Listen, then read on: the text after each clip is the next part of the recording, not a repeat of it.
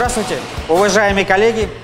Сегодня мы с вами находимся на новом участке по изготовлению тары.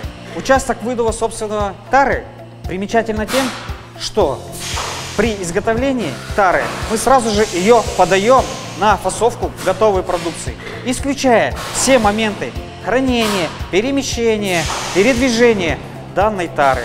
Перед началом выдува тары Приформа проходит термообработку наших печах при температуре 120-140 градусов. Тем самым мы производим обеззараживание нашей тары. При начале фасовки готовой продукции вся тара проходит через станцию обдува горячим воздухом.